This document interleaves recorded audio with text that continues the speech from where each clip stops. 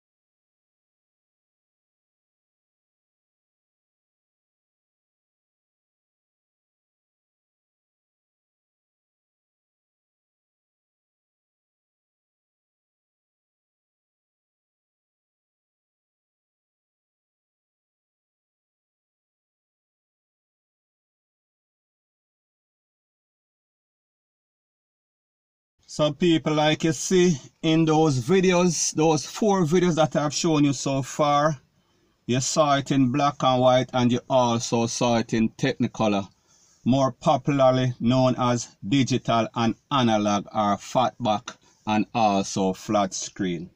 Now people, you saw that they shocked and awed the persons that were already in at the bar and they also surprisingly greeted the persons as they entered the establishment. We are speaking about the patrons. We are speaking about persons that are also drinking. Now, people, like I said, every day the bucket goes to the well. One day the bottom is going to fall out. So people, we see those same persons were on a rampage in the era. And people, like I said, it was raining, it was flooding all over Jamaica. So therefore, that would be the ideal time for basically stay home with your woman and make all sorts of sweet, passionate love and watch you pit them, rete, lele, blue, blah, blend. However, these persons felt as if it was a very bright idea for God and thief. Now people like me say, every day the bucket go well, one day the bottom is going to fall out. So people, this is these same persons trying to rob somebody, them roll up on a yang yang bike and try to rob this person. However, they got the surprise of their life. So people, take a listen, take a look at this beautiful bean footage.